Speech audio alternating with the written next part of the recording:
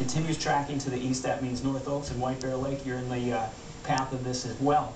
This will pass quickly, it will not last long, this is not like last night's storms that went on and on and on. This is a different kind of storm, but if you're up to the north, in Circle Pines, Blaine, Lexington, you're probably getting hail right now. Same thing at southwestern corners of Lino Lakes.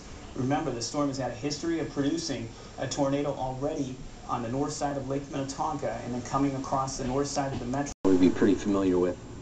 Yeah, those are very busy uh, roads up in the northern part of Ramsey Lexington County. here, uh, probably right on top of 96 in Lexington right now, um, or awful close to it, the worst part of the um, rotating part of the storm. The, the good thing for the part that's rotating, if you happen to be under that, is it will pass you very quickly. It is not going to linger. Um, the people that are going to put up with flooding rains and large hail are going to be Hugo, Lino Lakes, Circle Pines, and Lexington. Uh, those areas need to be concerned here with some street flooding. We're not getting any reports on that right now, but be alert to that. Uh, just north of this area, it is not uncommon at all. When you have a storm producing a tornado that just a mile or two north of there, you get baseball-sized hail, and sometimes you get two, three inches of rain in a half an hour time. So that could be a possibility. It looks this like on top of the two to five inches of rain we saw Right.